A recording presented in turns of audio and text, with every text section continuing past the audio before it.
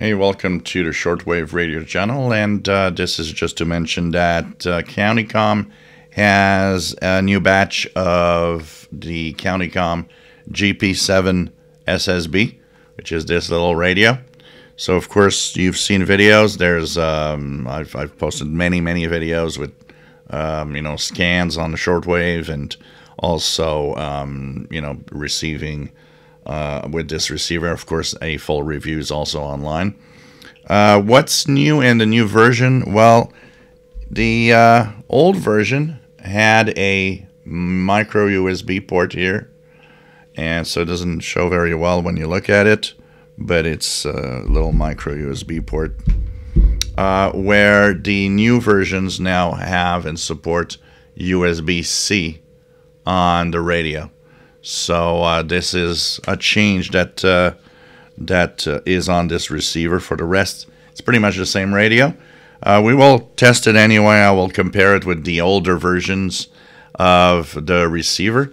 And so some videos are coming up with this. So they do have a new version. Of course, comes with that little uh, medium wave loop antenna for medium wave, uh, the manual, and uh, a, a, a little carrying protection case uh, for it.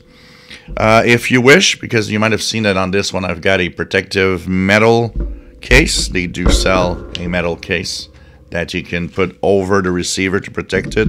They also have all sorts of things, uh, silicone um, cases also that you can put over it, including one that is phosphorescent, uh, so it kind of glows in the dark.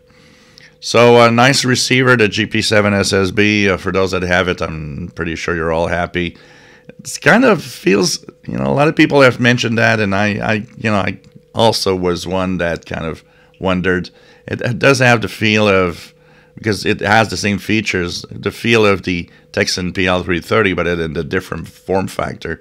So often the question that was asked is, do you think it's the same circuit inside? Um, one thing for sure is that firmware versions don't match, but yeah, it could be pretty much the same thing in a different case uh, for sure. So uh, some videos will be coming up. I'll be doing some ETM scans, stuff like that. But uh, new version now out. Of course, this is also for those that don't know the Tecsun PL368. It's, they are the same radio. It's just that CountyComm has its own version. And of course, if you buy it in the United States, as you see here, CountyComm, um, you can buy it in the United States from CountyComm Direct.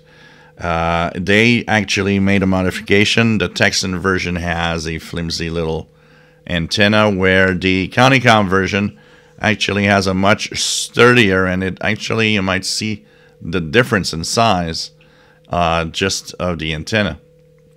Um, CountyComm has a much sturdier stainless steel antenna on it. And of course, they do sell replacement antennas. So if you wish to uh, replace your uh, Tecsun, uh, it fits with the Tecsun. It's the same radio, so you could actually buy one and fit it for the Tecsun receivers also. But the Tecsun PL368, CountyComm GP7 SSBR, technically and electronics inside the same receiver. Uh, but uh, this one from CountyComm has, of course, a sturdier antenna. So new batch available with USB-C if you were waiting for that and are tired of having 18 different USB type cables. Uh, now it's actually available with a USB-C cable. So, uh, of course, uses a uh, little BL5C battery. This hasn't changed in it. But uh, a great little receiver if you're looking for something that is good on shortwave. The ETM scan is wonderful to find stations. Of course, it has single sideband also, and it uh, has calibration, so you can actually calibrate the frequency uh, when you, uh, you want to use SSB to make sure that it's very precise. If you enjoy my videos, please subscribe, give us thumbs up. Thank you for watching my videos.